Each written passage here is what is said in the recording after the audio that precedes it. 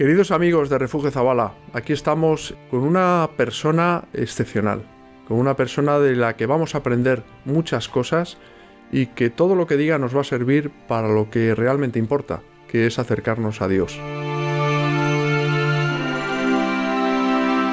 Dios me ha servido como refugio, ¿no?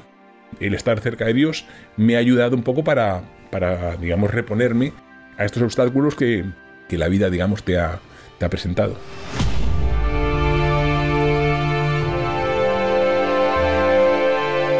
Doy gracias a Dios por, por haberme puesto alrededor mío, pues no solamente eh, a mis padres, sino a mis amigos, a mi familia.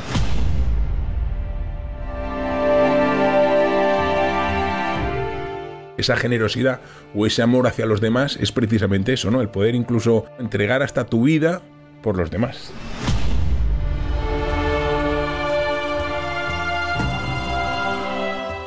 Luis Alfonso de Borbón, bisnieto de Alfonso XIII, y primo del rey Felipe VI, desnuda su alma en una entrevista en exclusiva para hablar de Dios. Vamos a conocer a Luis Alfonso de carne y hueso este jueves a las diez y media de la noche en Refugio Zabala TV. Les esperamos, amigos.